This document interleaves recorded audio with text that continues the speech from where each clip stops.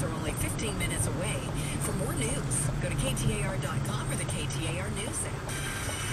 Let's check on the road home with Enrique Garcia, InfoCheck Road today. He's in the Valley Chevy Dealers Traffic Center. Thank you, Becky Lynn. We have a disabled vehicle on the left-hand shoulder on I-10 westbound near Arizona Veterans.